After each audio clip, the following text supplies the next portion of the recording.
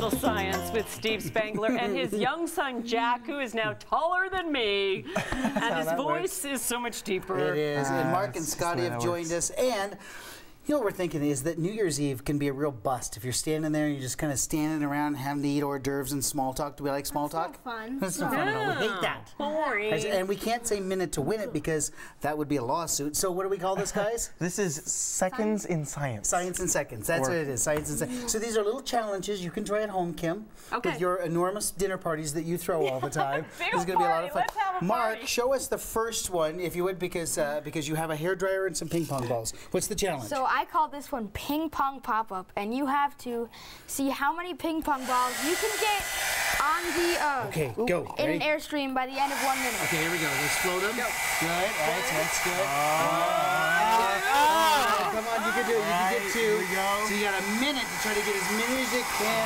See, this is a great challenge. Isn't it? Stupid ping pong it. balls. This is uh, this is good. You can do it.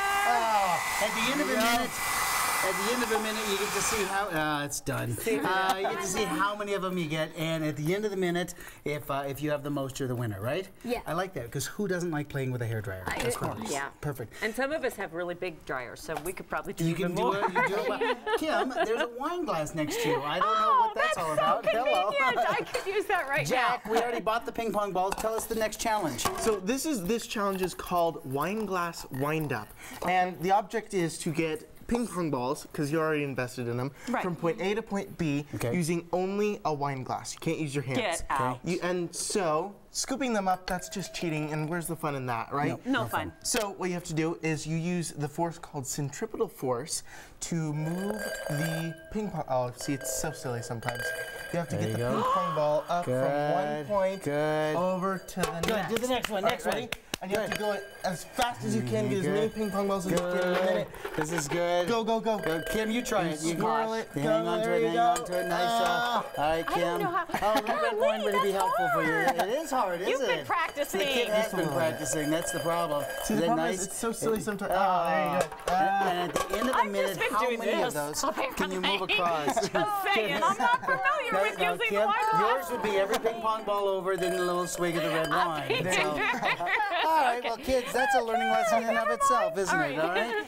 Next challenge, Scotty. Let's move over. Next challenge, Scotty. Tell us what you have. Scotty, what what is you yours called? Uh, this is called Mentos Madness. Whammy. And what you have to do is you uh, have to place this yellow ring or a roll of masking tape, 'cause that'll work as well. You have to place that on top of the bottle Good. and the Mento on top of the ring. Good. And you put your. Okay, I'll help oh, you. I'll help you. See if you can okay, here we go. balance You just tell them what you have to do, and I'll help you with it. you have to stick your finger in the middle of the bottle and then pull it away as fast as you can and make the Mento go into Okay. the bottle. Ready, set, go. You can do it. Shazam!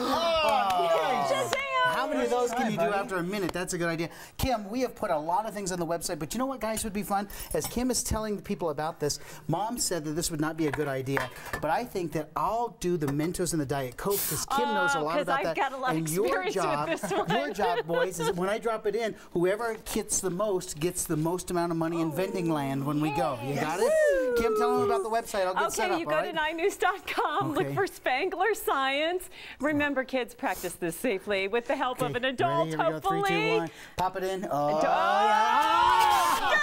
Oh, Happy New Year. I'm out of here. Oh, Scotty, you are. Scotty, perfect. Good job, buddy. Oh, I love the Spangler guys. Thank, Thank you. you. Woohoo! Good job.